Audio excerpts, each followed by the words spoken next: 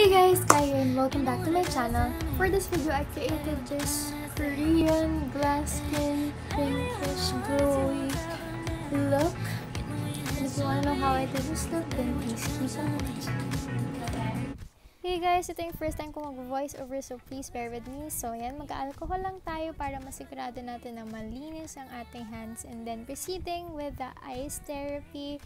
Madalas na ginagawa ng mga Koreans kapag nagpo-facial sila. And isa rin to sa mga secret kung bakit glowing, youthful, healthy yung skin nila.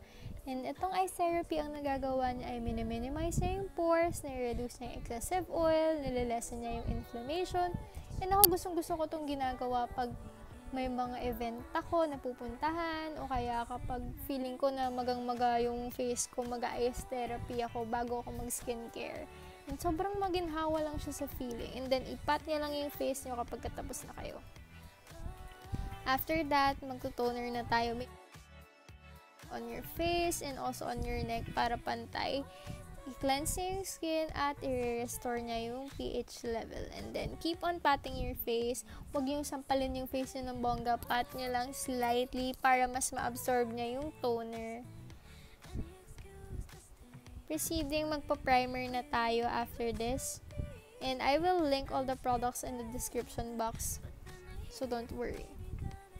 Pinaghahalo ko lang yung sunscreen, foundation, tsaka moisturizer ko. Kasi mga Koreans, mahilig sila sa, you know, baby cushion. Kaso wala tayong baby cushion. Purita lang tayo. So, gumawa na lang ako ng mixture na possible na maging baby cushion yung texture and formula niya. So, yan, ina-apply ko lang siya sa face ko using the brush and biniblend ko lang siya using my fingers. As much as possible, tinatry ko na wala masyadong brush at tools na gagamitin para sa look na to dahil perfect to sa mga taong wala pa masyadong makeup tools sa kanilang bahay at very achievable tong look na to.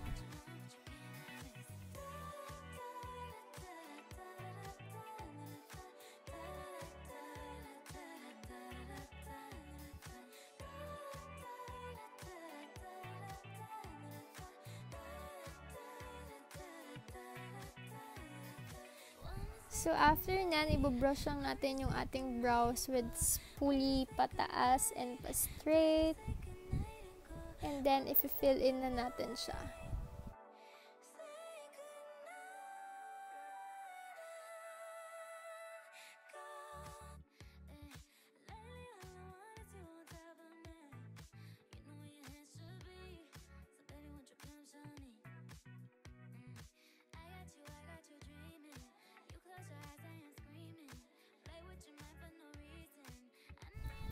Pagkatapos natin i-fill in, don't forget to blend.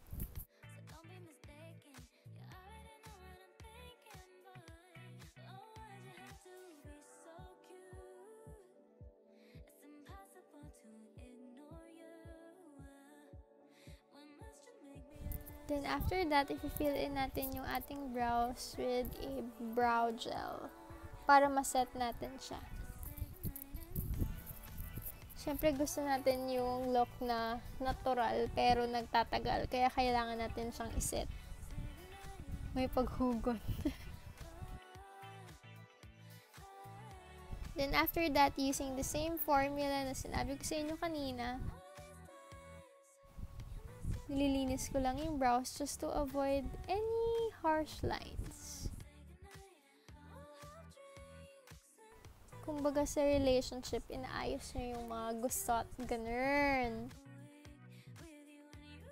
Then, biniblend ko lang siya.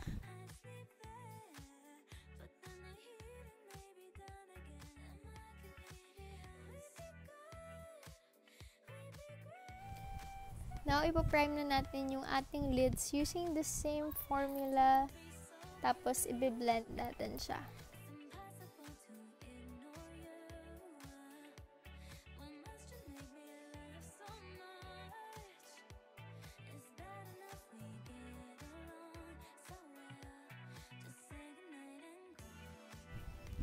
So, for the base shade, gagamitin ko tong Vice Cosmetics Duo Foundation.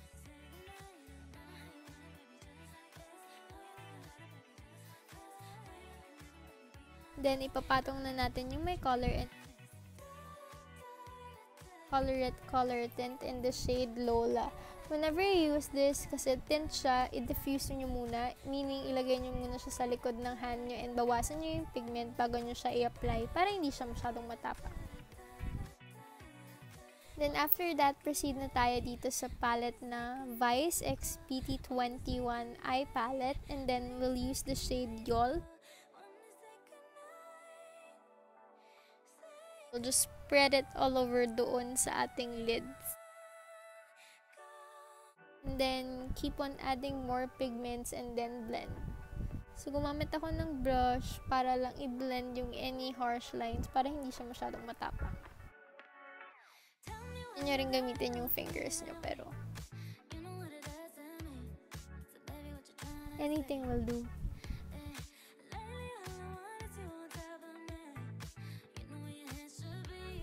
So, for this one, magdadagdag tayo ng shade called Yoldol and this is the dark brown shade and parang ika-cut eye lang natin siya. Then next, we'll add the shade Set, yung pink shade para magmukha siyang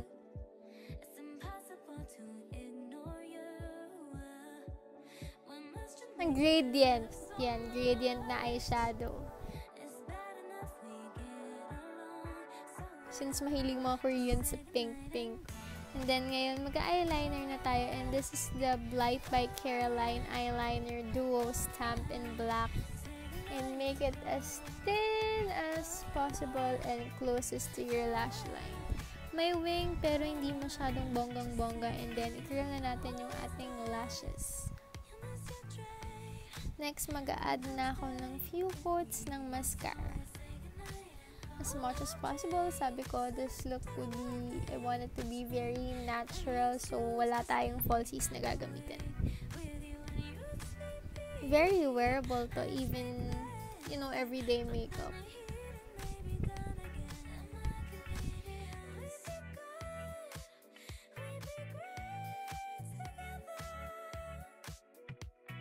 Y'all, lalagay natin siya sa may ating waterline.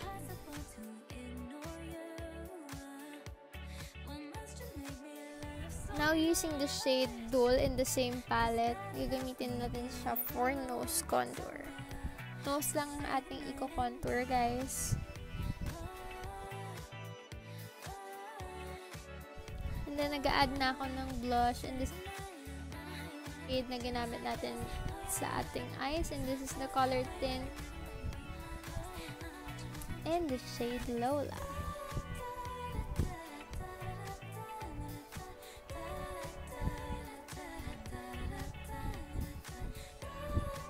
So, i-dab nyo lang siya ng dots and then keep blending until satisfied na kayo. Wala yun ay kung marunong kayong makontento. Char.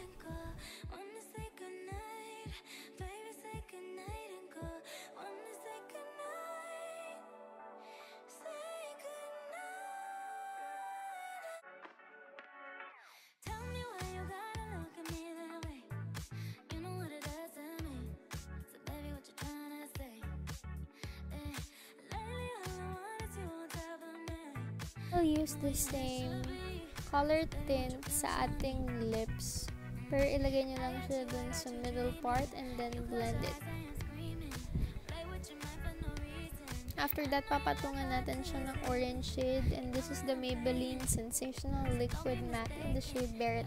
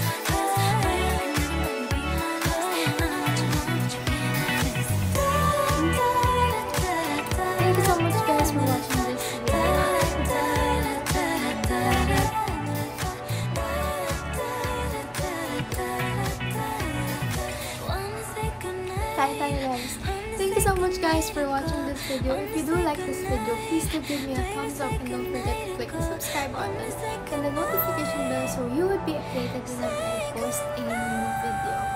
Always remember that God is creator and highest He knows. See you guys in the next one. Bye!